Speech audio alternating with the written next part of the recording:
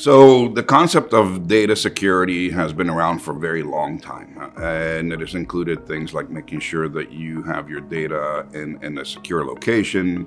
They have all the securities and controls around it.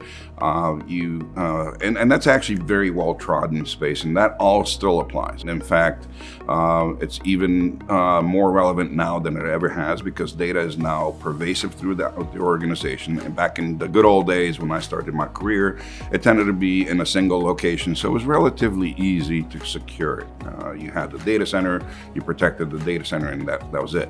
Now your data might be sitting in a far edge location, it could be on a laptop, on a device, uh, it could be in the cloud, it could be spread across multiple clouds, it could be on SaaS services. So that problem is very, very uh, complex, but is well trodden.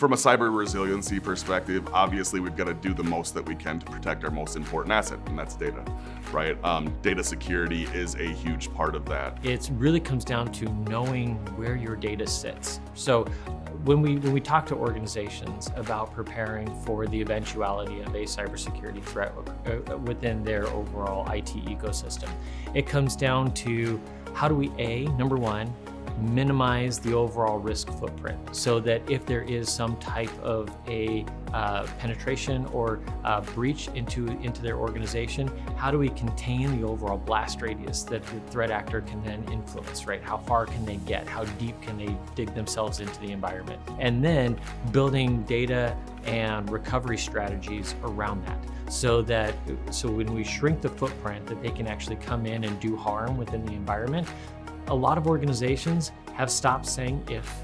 It has now become a when conversation. And so when you start to create these little data security enclaves, when they do actually breach through, what they can now access and what they can now impact is highly reduced. And then you have a data recovery strategy associated with that.